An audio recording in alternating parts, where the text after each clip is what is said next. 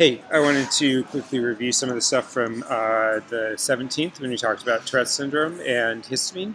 Um, so first of all, we reviewed in particular the um, uh, cortex and striatum and the different pathways there and the role of dopamine, the two different dopamine receptors there, and then summarized the main pathways for dopamine um, signaling in general. Um, the uh, um, for Tourette syndrome, we're mostly interested in the, the role of dopamine in motor movements in the striatum, substantia nigra to striatum. Um, we talked about the different receptors and what's going to happen with agonists and antagonists of each, both in terms of excita excitation inhibition of the cells, which cells they're on, and the ultimate consequences for the motor cortex. Um, overall, the ultimate consequence of increased dopamine is an increased desire to move. Um, then sort of briefly talked about Parkinson's disease. Um, and in Parkinson's disease, what happens is there's less dopamine produced in the substantia nigra. Actually, a lot of the dopamine producing cells die, and as a result, there's decreased ability to move. Um, we're not going to go more into the detail of Parkinson's disease beyond that. Um, uh, but if you take systems neuroscience, then you get into a lot more of the detailed neural circuitry of that projection and what goes on. Um, we then talked in general about um, gen about genetics and what genes are and what alleles are. Those are both technical terms that you should review. Um, genes are just um, you know places where you find instructions, um, and then allele is a particular set of instructions that you might find on a particular individual's chromosomes um, that um, may create uh, either sort of have the normal common version of a gene, so it makes a sort of normal protein um, that matches what most people have, or rare, which can be anything from you know less than half the population down to like you know only a few individuals might have a particular mutation. And these kinds of mutations can make sometimes overactive, sometimes inactive, sometimes less active, sometimes add completely new functions to what goes on. Um, in particular, with Tourette's and with all of the diseases that we're talking about, with 99% of the people with Tourette's and with every other disease that we're talking about this semester, um, except for one situation with Alzheimer's as well, um, there's a what we call a complex genetic basis for the disease. What that means is that there are dozens or even tens, you know, 50 different genes that have been associated with Tourette syndrome, um, and many different mutations that can either increase or decrease your risk. Um, for 99% of people with Tourette's, setting aside that sort of like one exception, um, there's not a genetic guarantee. All the genes do is sort of change your risk. Maybe you make it more likely, maybe a little less likely that you might develop Tourette syndrome. Um, the, um, so that what that means is you can have two people with the exact same genetic profile. Some people have Tourette's, one has Tourette's, one doesn't. Identical twins um, might be, you know, one person with Tourette's, one person without.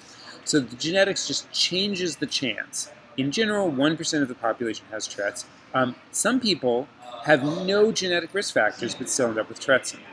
Some people have a lot of genetic risk factors and don't get Tourette syndrome.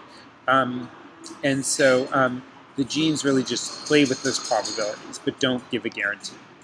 Tourette's is interesting because there is 1% of people with Tourette's that do have a particular mutation that does guarantee this. That's a mutation that um, means that one of the histidine decarboxylase genes, um, one of the genes that converts hist uh, that makes the enzyme that converts histidine to histamine, is broken. What that means is that the person produces half as much histamine. What goes on with that? Well, there's a few things that go on with that. Um, so there's less histamine being produced. Histamine um, is produced in this area called the tuberomammillary nucleus, and then axons go all over the place, um, including keeping you awake. That's why Benadryl, a histamine and H1 histamine receptor antagonist, um, will make you sleepy. And in the basal ganglia, there are H2 receptors. Um, with Tourette syndrome, we're really interested in what happens with histamine in the basal ganglia. So here, this is this sort of weird synapse where instead of um, histamine axons making synapses onto dendrites or cell bodies, the histamine axons make synapses onto the presynaptic terminals of dopamine-releasing cells. And there, histamine binds to H2 receptors, which then inhibit voltage-activated calcium channels, and therefore mean less dopamine is released. So histamine in everybody's brain is being released in the basal ganglia, and it is decreasing the release of dopamine. It's part of how your brain regulates whether dopamine is released and ultimately regulates whether you move or not.